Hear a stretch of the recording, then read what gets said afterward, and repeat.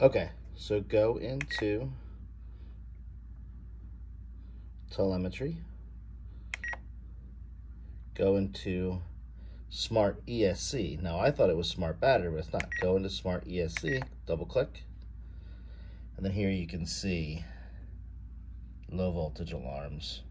I have it on voice and vibe. And then you can do status report, turn it off and on.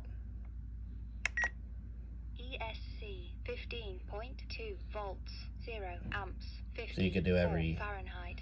60 ESC second status report. 15.2 volts, 0 amps, 54 Fahrenheit. Flight pack 15.1 volts. Go back. And then smart battery.